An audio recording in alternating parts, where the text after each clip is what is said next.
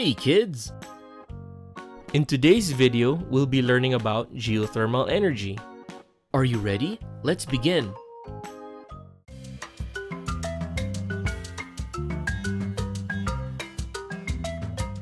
Geothermal energy is heat that comes from inside the earth. This heat can be used to create electricity and to warm buildings.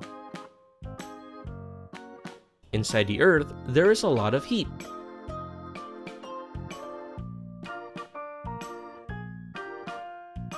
This heat comes from the core of the earth, which is really hot. It heats up the rock and water underground. Sometimes, this hot water and steam can come up to the surface. We can use this hot water and steam to create energy. To create energy, we use a special machine called the geothermal power plant.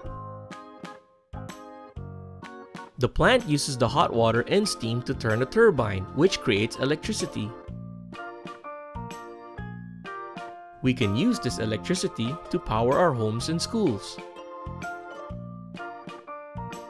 Geothermal energy is a renewable source of energy, which means we can keep using it without running out.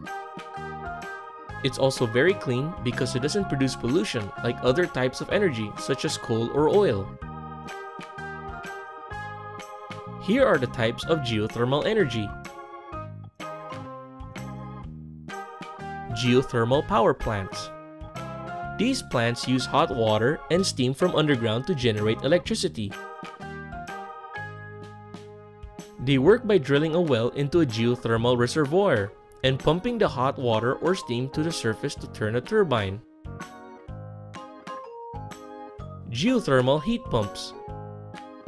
These pumps use the constant temperature of the earth just below the surface to heat or cool buildings. They work by circulating water through pipes buried underground and then using a heat exchanger to transfer the heat to or from the building. Now here are fun facts about geothermal energy. Geothermal energy can be used for a variety of things such as heating buildings, generating electricity, and even growing plants in greenhouses. The first geothermal power plant was built in 1904 in Italy. Iceland is one of the largest users of geothermal energy in the world, with over 90% of its buildings heated by geothermal energy. Geothermal energy is a renewable source of energy because the Earth's core continually produces heat. Geothermal energy is very clean and produces little to no emissions, making it an environmentally friendly energy source. Hot springs and geysers are natural examples of geothermal energy at work. Geothermal energy can also be used for cooling in the summer months, a process called geothermal cooling.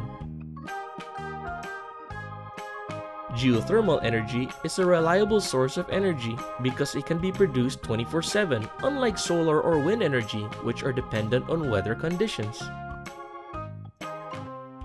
And that is all for today's video. I hope you enjoyed learning about geothermal energy today. Take care now, bye-bye! If you enjoyed the video and want to see more videos from us, please click the subscribe button. Also, give us a like. That will help us. We thank you so much and we do hope that you enjoy our videos. See you soon!